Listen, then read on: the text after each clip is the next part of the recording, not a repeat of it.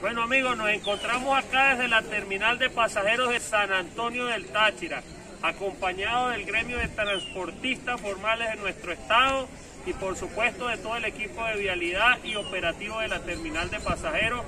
con el compañero Hugo Hernández como coordinador de la terminal, Anderson Rivera, coordinador de vialidad del municipio Bolívar. Bueno señores, después de una mesa de trabajo anunciamos que aparte de la atención, el servicio que ya fue restablecido gracias a la autorización del órgano superior del transporte con el visto bueno del protector del Estado, Freddy Bernal, eh, nuestra Fuerza Armada Nacional, General Juliado Moronta, bueno, estamos cumpliendo con todas las normas de bioseguridad y bioprotección para así generar también una garantía sobre la pandemia que aún no se ha ido y aún la mantenemos en nuestro territorio. Y también, por supuesto, anunciar que a partir de hoy vamos a arrancar también el plan de acción sobre la piratería que se ha desplegado en nuestro municipio y esto pues ha permitido también que muchos de los usuarios pues abandonen lo que es el deber ser, que es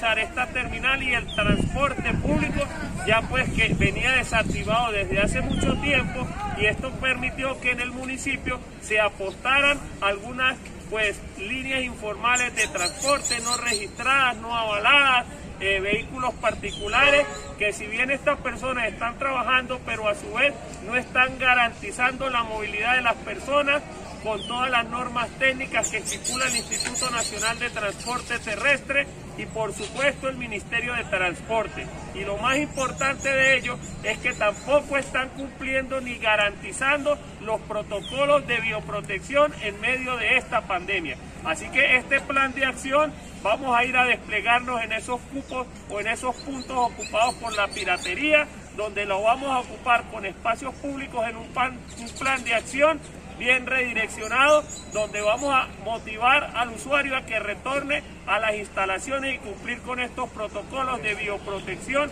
y así garantizar y ayudar a la Comisión Nacional del COVID